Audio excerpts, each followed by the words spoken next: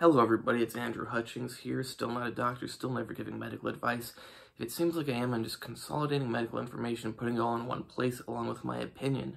This video is about are irreversible inhib I mean, do irreversible inhibitors irreversibly screw you up for the rest of your life? I mean, they bind irreversibly to an enzyme. They never unbind. So for the whole rest of your existence, that enzyme will never work again. So you may be thinking that's horrible or that's great, depending on if you like the enzyme or not. But the thing is, when you take the enzymes out of commission, your body makes new enzymes.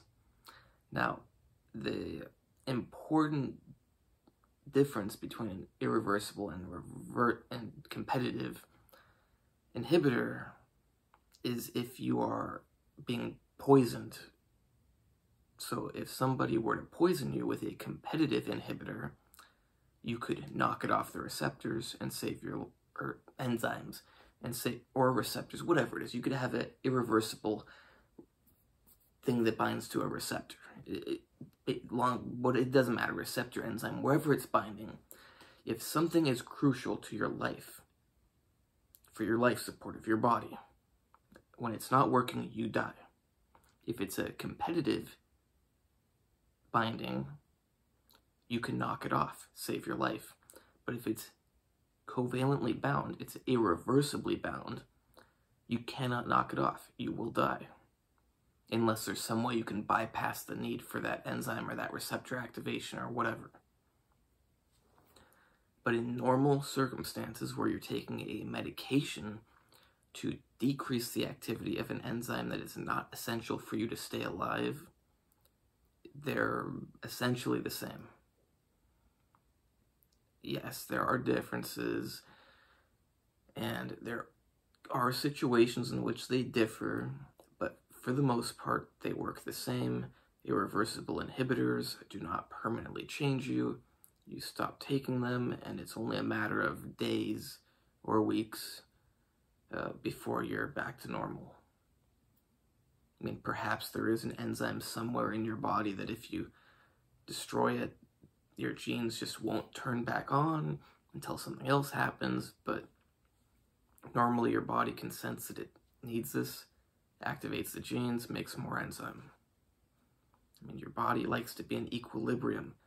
You push up, it pushes down, you know, to e even things out. I mean, it, you push up, it pushes this back down. It, I mean, in other situations, it would go like this, but in this uh, situation that we're talking about in this video, it's like you get rid of the enzyme, your body makes more of it. So the difference is, for like medications, is technically if you took an irreversible inhibitor, it means that if you took a different medication for some reason that can also bind to that thing, even if it had higher affinity, it would not bind. Whereas if you took a competitive inhibitor and then you took some other medication, but it just happens to have way better affinity, higher affinity, well, that inhibitor would no longer be doing anything, or it would not be doing as much as you would hope it would be. So, say, say it's an aromatase inhibitor, since this is a fitness channel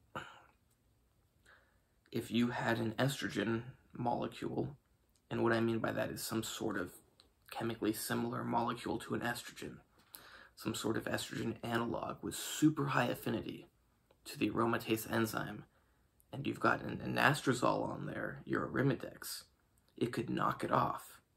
Because when something is not irreversibly bound, it's on there, but it comes off. And then it's on there, and it comes off but it's on there most of the time, so it's blocking it. But it is coming off once in a while. So if you have another molecule, like that super high affinity estrogen analog, when it comes off for a second, it it swoops in there and it binds to that receptor. Now, well, the, because it has a higher affinity, it doesn't come off very often, so it's on there much longer. And then once in a great while it comes off, but it has a higher affinity than the anastrozole, so it goes right back on, and the anastrozole can't get in there. But if you had exemestane bound to the aromatase enzyme, it doesn't come off. So even if you have a super high affinity estrogen analog over there, it doesn't come off. It never gives it the chance to bind. So it cannot bind to that enzyme. It could bind to a different enzyme that doesn't have the exemestane on it yet, but it cannot bind to an enzyme that has come into come to be bound to the exemestane.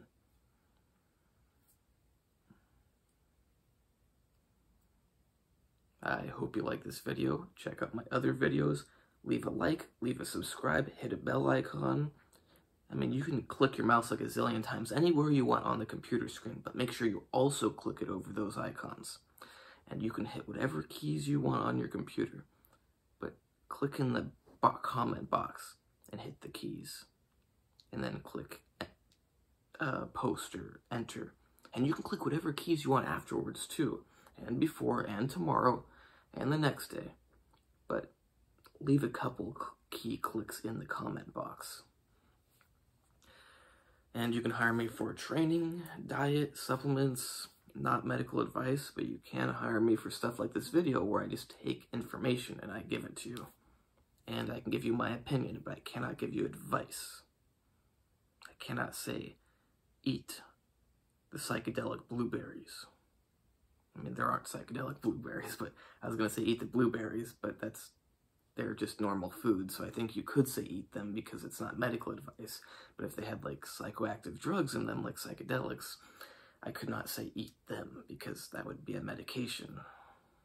Or maybe it would be considered a supplement if they were all natural, I don't know. But I can't give you medical advice. And you can check out my Instagram, natural underscore true underscore fitness my website, which hopefully will be up by the time you see this video, andrewhutchings.org. And remember, those buttons, that comment box, costs you nothing. And you can click in everything wherever you want, any other time of the day, any other day. But leave some clicks in there and check out my other videos.